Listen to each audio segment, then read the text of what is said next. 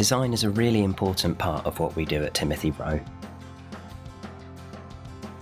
Every piece of jewellery we make starts with the design process. Customers typically come to us with a rough idea of what they want, but need help visualising it. This is where our designers step in and translate their idea into something visual. Using the basic tools of pen, paper and coloured pencils, our skilled designers will usually create around seven or eight different designs based on the customer's original idea. These sketches are then emailed to the customer for approval.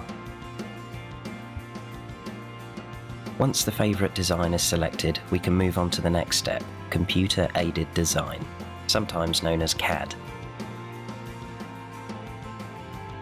Our CAD designers translate the pen and pencil sketch into a virtual ring.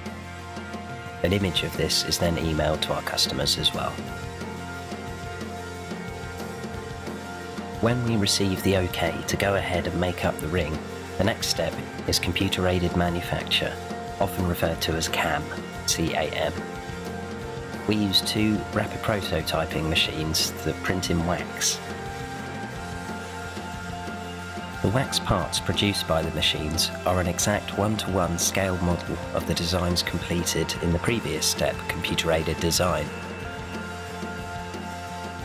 The waxes are cleaned and prepared for castings, and in this time they can also be viewed in the shop and give a great idea of what the finished piece of jewellery will look like. For more on the next step, look for our video about casting